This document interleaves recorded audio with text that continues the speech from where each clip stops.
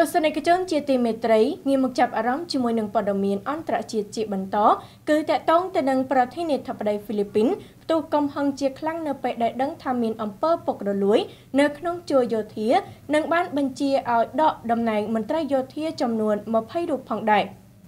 ប្រធានាធិបតីហ្វីលីពីនលោករ៉ូទ្រីហ្គោឌូថឺតេបានចេញបញ្ជាឲ្យដកតំណែងមន្ត្រីយោធាចំនួន20រូបក្នុងនោះរួមមានទាំងបុគ្គលឋានៈឧត្តមស្នេហ៍ឯកនិងវរៈស្នេហ៍ឯកផងដែរជុំវិញការចោទប្រកាន់ពាក់ព័ន្ធជាមួយអំពើលួចបន្លំនិងពុករលួយក្នុងការទិញសម្ភារៈផ្គត់ផ្គង់ផ្នែកវិទ្យាសាស្ត្រសម្រាប់វិស័យយោធានេះបើតាមការដកស្រង់ការផ្សាយចេញពីសារព័ត៌មាន Channel New Asia នៅល្ងាចថ្ងៃច័ន្ទទី13ខែសីហាឆ្នាំ